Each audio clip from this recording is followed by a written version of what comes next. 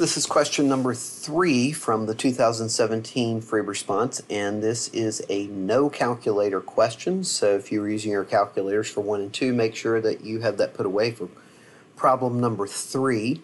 Um, this is what I like to call the geometry question because we're going to be doing a little bit of geometry in order to answer these questions.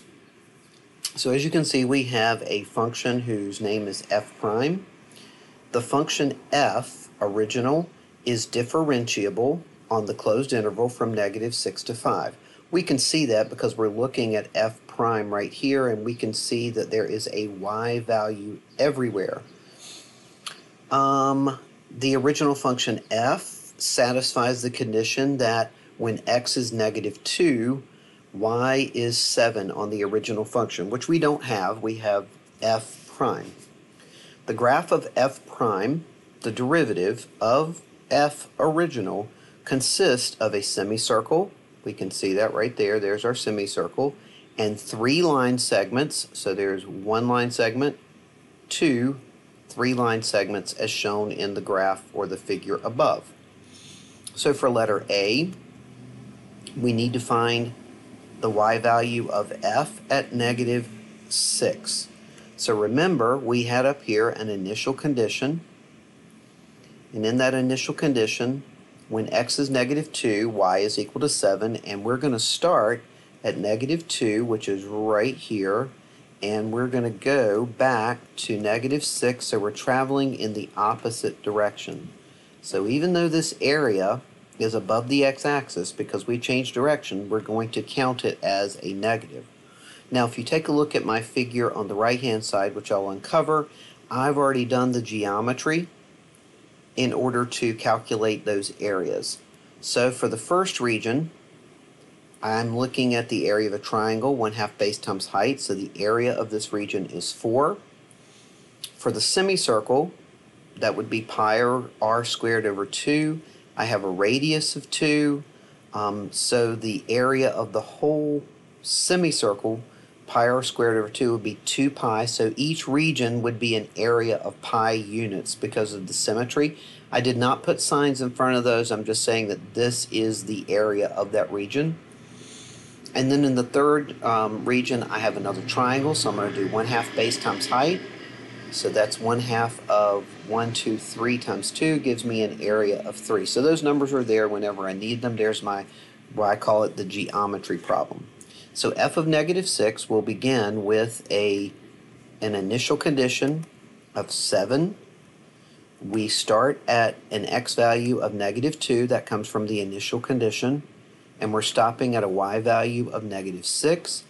So I have 7 units of area already accumulated.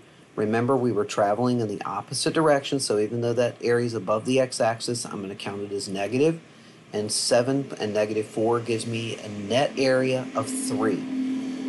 For f of 5, I'm going to do exactly the same thing, but I'm going in the positive direction. So I have 7 units of area, start at negative 2, excuse me, accumulate until I get to 5. So there's the 7 units of area. Remember, there were uh, two quarter circles, so I have um, negative 2 pi, that area was below the x-axis and I'm moving in the, in the positive direction, plus 3. Um, you can leave your answer just like that if you want to, or you can simplify it to be 10 minus 2 pi. So that's question A. For question B, on what intervals is f original, whoops, edit undo, I thought I had the pen selected, sorry about that.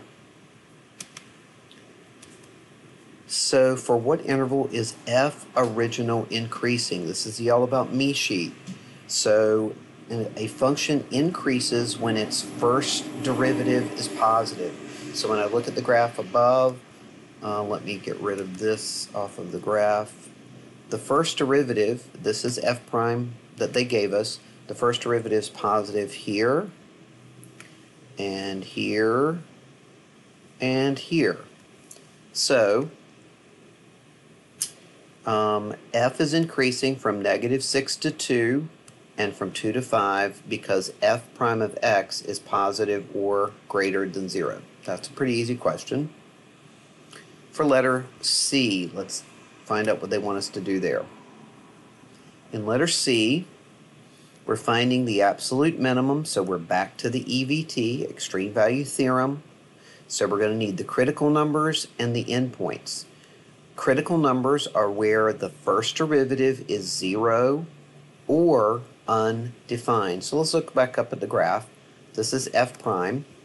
I'm going to get rid of my writing from before. So f prime is 0 at negative 2. f prime is 0 at 2. And let me see, what was my interval? I might be including some numbers from negative 6 to 5. So we're going, okay, all the way across. Now, some students may be confused and say, oh, f prime is not defined at 3, so 3 is a critical number. That's not true.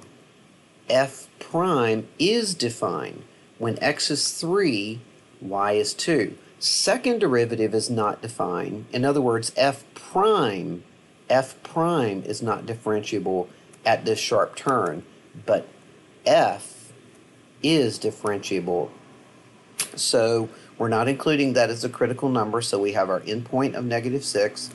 We have critical number of negative 2, critical number of positive 2, and the other endpoint of 5. Now because we're looking for the absolute minimum, a change from positive to negative, so the absolute um, minimum cannot occur at x equal to negative 2 because that's a local maximum. You can't be the absolute minimum if you are a local maximum. Um, I don't remember if I included it in my table of values, but to make this decision, I'm going to create a table of values. I did in this case.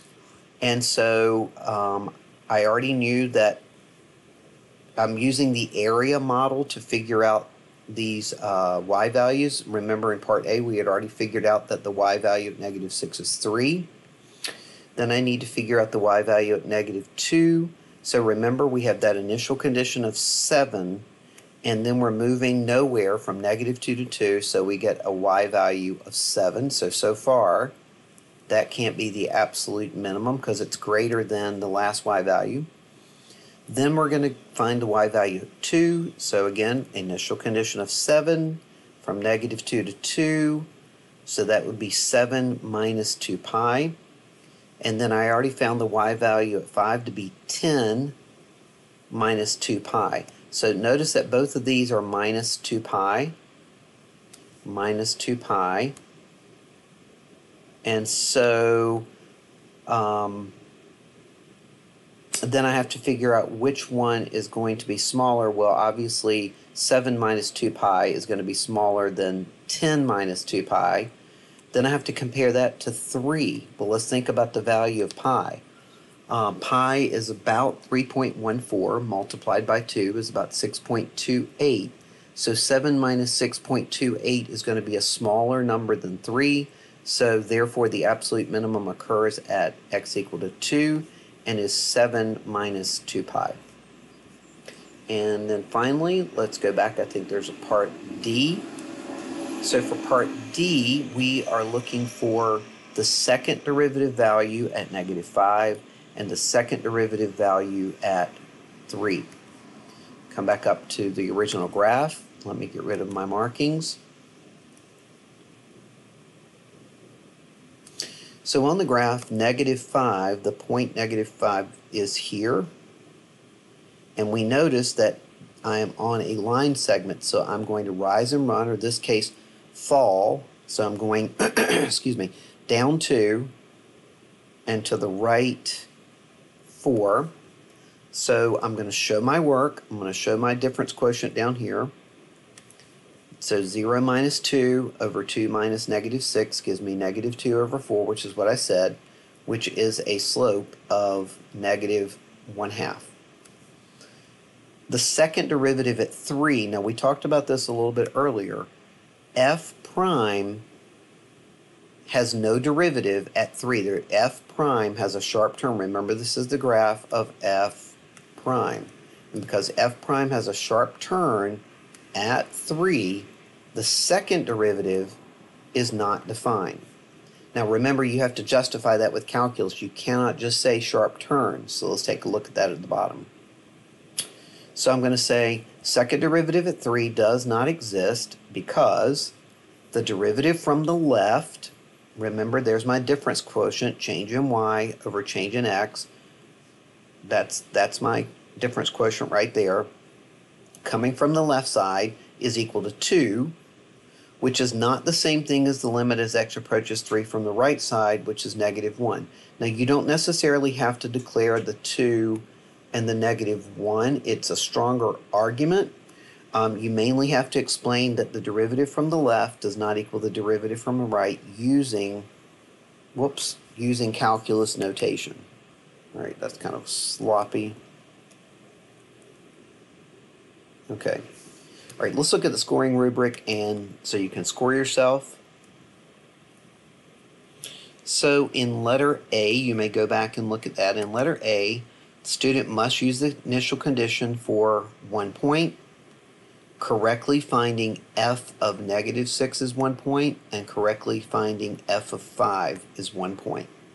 Simplified or unsimplified for f of negative or f of 5, you may leave it like that, or you may combine like terms and leave it like that. For part B, we're looking for an answer with justification. So we want to say that um, the original function f is increasing because f prime is greater than 0. And then, of course, we want to declare the intervals on which f is increasing. You don't need to worry about your opens and closed brackets and endpoints there. Letter C, you have to show the reader, first of all, you have to have a consideration of x equal to 2 because that was where a local minimum occurs. Um, it's a good idea to state that the first derivative is 0 at the two values that we talked about. And then your answer with your justification, you showing this table of values, whoops, that's your justification right there. And But you do need to declare what your answer is. Now, if you said the absolute minimum occurs at x equal to 2 and you have the table, then we will refer and reference right here to see that y value. But they did ask you for the absolute minimum value, so it's better to declare it yourself and make it really clear for the reader.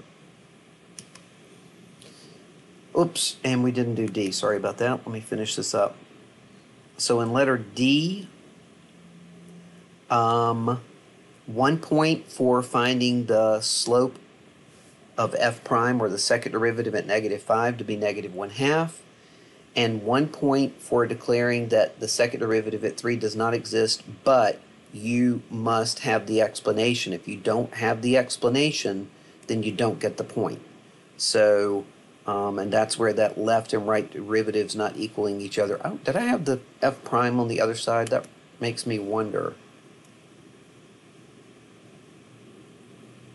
Ooh, I did not.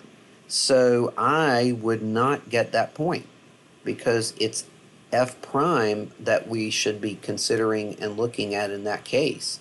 So uh, hopefully you got it right, um, but I did make a mistake now that I see the scoring rubric, so I'm not going to get that second point. I'll get the first point, but not the second point.